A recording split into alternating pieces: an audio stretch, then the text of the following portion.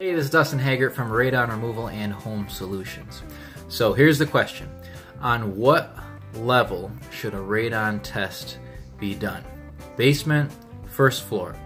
Okay, so you got two different groups of people. Some say, all right, it should always be done in the basement. Others say, well, I don't do anything in the basement, so it should be on the first floor. Okay, neither of those answers is correct when dealing with real estate transactions. Now, before I give an explanation, you can find all this information on the EPA's website. Uh, especially, they have a document called the Home Buyers and Sellers Guide to Radon. So, if you're involved with real estate and you're dealing with radon occasionally, definitely check that out. It's a great resource. Okay, so again, the question is where should the radon testing device be placed?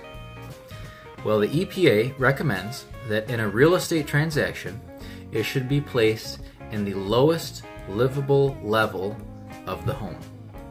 So if you are an agent or a home inspector, definitely remember this the lowest livable level of the home. So that means that whether the area is finished or unfinished, if it's an area that could be used regularly, that is where the radon testing device should be placed. So this is not always something that's easy to determine.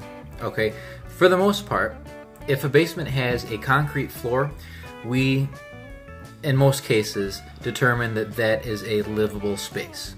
But that is not always the case. For instance, yesterday I had a house that I had to go test. They told me that it's a concrete basement, so I'm thinking, okay, most likely that's where the test is going to be done.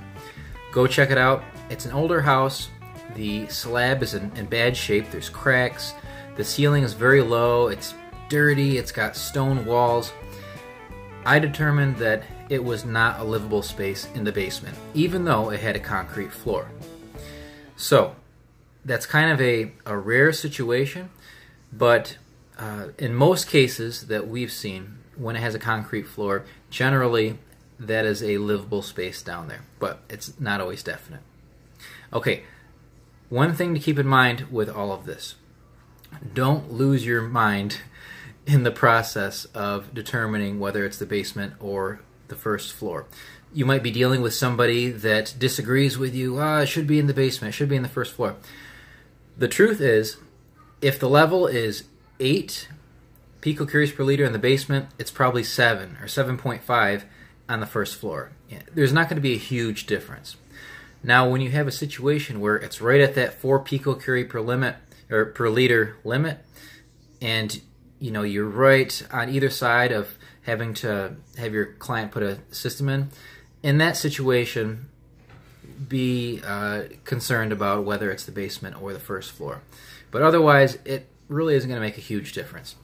But so that's the rule: the lowest livable level of the home. If you guys have any more questions on this, comment below uh, or contact me at uh, radonremoval and homesolutions.com or radonremovalhomesolutions at gmail.com. All right, have a great day.